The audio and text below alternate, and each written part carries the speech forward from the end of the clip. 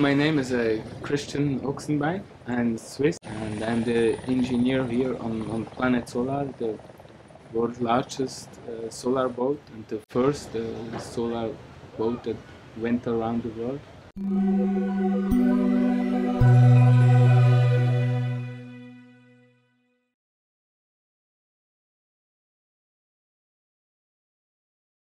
Now next to me is really the the most important part of a solar boat is the, the solar generator.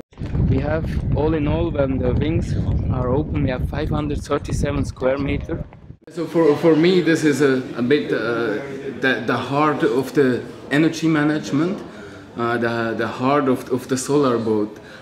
We have the, the parts we call MPPT, Maximum Power Point Tracker that uh, that's really for an important component for the for the solar power. Here, uh, the energy is coming from the solar panel through this cable and going on this converter. They track always the best working point of the solar generator.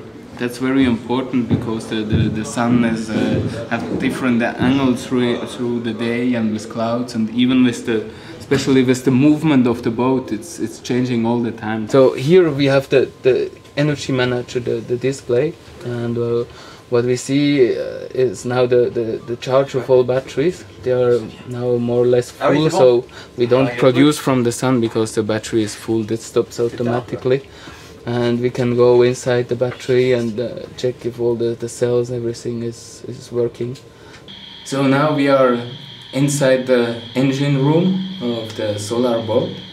So of course there is no diesel engine, uh, it's not really an en engine to see. We have uh, behind behind you we have uh, the big big battery. It's a lithium ion battery. Yeah. All in all it's 11 tons heavy and we have 1.1 megawatt hour with all full batteries.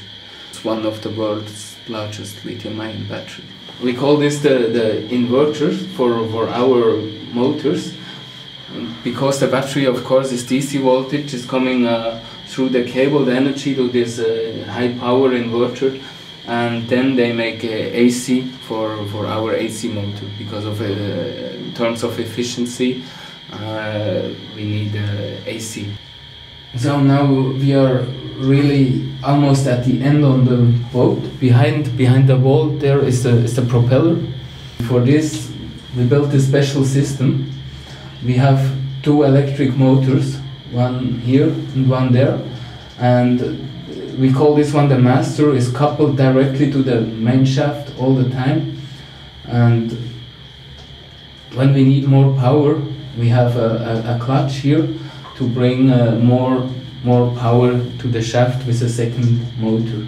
The interesting thing on this boat was not to develop new technologies. The, the idea was to take the, the technologies we have today and to, to bring them all together and to build this boat uh, because we want to show that we have already the technology to do the change. We have just to bring them together and to do the effort and not just uh, burn the, the, the, the, fuel. It's better to, to, to think a little bit about tomorrow and create something new.